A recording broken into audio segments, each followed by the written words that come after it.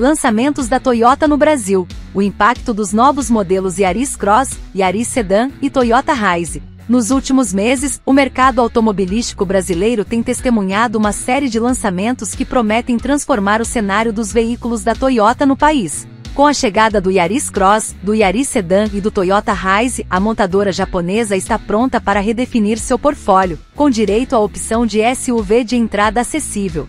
Quer ficar por dentro do universo automotivo? Então já se inscreve no canal Giro dos Motores, ative as notificações e deixe um like para fortalecer a comunidade. Yaris Cross, a nova fronteira dos SUVs compactos. O Yaris Cross marca a entrada da Toyota no segmento dos SUVs compactos no Brasil. Baseado na plataforma do Yaris, o Yaris Cross se destaca por seu design robusto e suas características de crossover com uma silhueta que combina elementos esportivos e utilitários. O Yaris Cross visa atrair clientes que buscam a versatilidade de um SUV sem abrir mão da eficiência de um compacto. O modelo vem equipado com motores que oferecem um bom equilíbrio entre potência e economia de combustível, características que a Toyota já consolidou em seus modelos anteriores. Além disso, o Yaris Cross incorpora tecnologias avançadas de assistência ao motorista e recursos de conectividade que atendem às expectativas atuais dos consumidores. O conjunto mecânico diríamos que pode ser uma vantagem ou uma fraqueza do produto,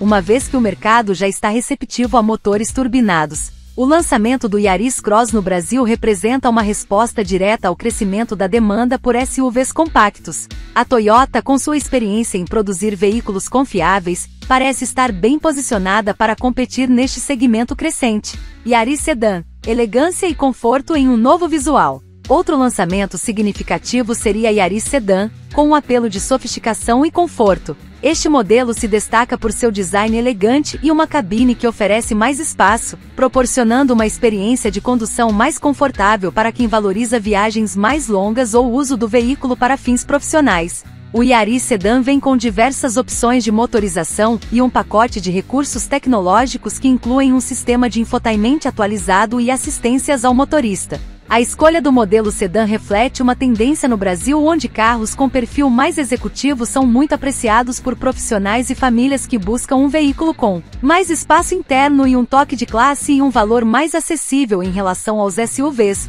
Porém, o Yaris de nova geração ainda é uma dúvida para o Brasil, uma vez que os investimentos da Toyota irão priorizar os SUVs, e o Yaris Cross oferece tudo o que o sedã oferece, porém no formato de carroceria mais aceita no mercado brasileiro e que também possibilita maior escalada de preços, por um produto com custos reduzidos de produção, coisa que não acontece com os sedãs compactos. Toyota Rise, substituindo o Yaris Hatch Sedan?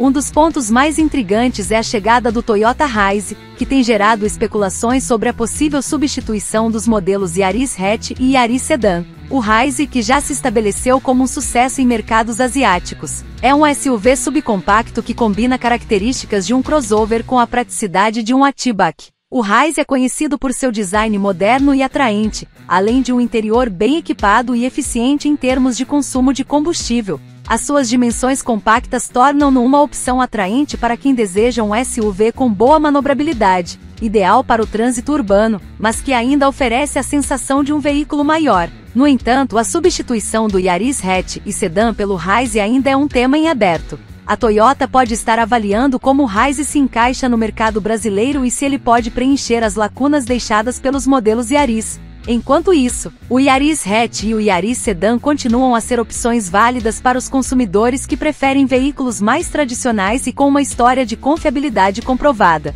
O Rise teria como concorrente direto o novo Citroën C3 como SUV subcompacto e de preço atrativo e de entrada, uma vez que em outros mercados existem versões do Toyota Rise de 80 mil reais, se convertermos para nossa moeda. O impacto no mercado brasileiro. A chegada desses novos modelos representa uma estratégia clara da Toyota para diversificar sua oferta e se adaptar às novas tendências e preferências dos consumidores brasileiros. O mercado de SUVs e crossovers está em crescimento, e a Toyota está respondendo a essa demanda com produtos que prometem alinhar inovação, estilo e funcionalidade. Mais novidades eu trago aqui no canal. E então o que acharam dos futuros lançamentos da Toyota? Deixem aí nos comentários, muito obrigado. Eu vou ficando por aqui e até a próxima!